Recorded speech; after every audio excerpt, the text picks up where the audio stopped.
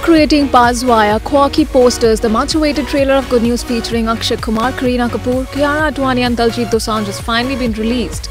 It is surely going to make you laugh harder as the stars take you on a goofy ride. Sharing the trailer on Twitter, Akshay wrote, Celebrate this Christmas with the Batras and the biggest up. Directed by Raj Mehta, Good Newwz is about two couples who are soon to become parents, while Diljit Dosanjh and Akshay Kumar play the husbands, Kiara Advani and Kareena Kapoor are their respective wives in the film. Owing to their doctor's goof up, they are obligated to bear each other's child in the film.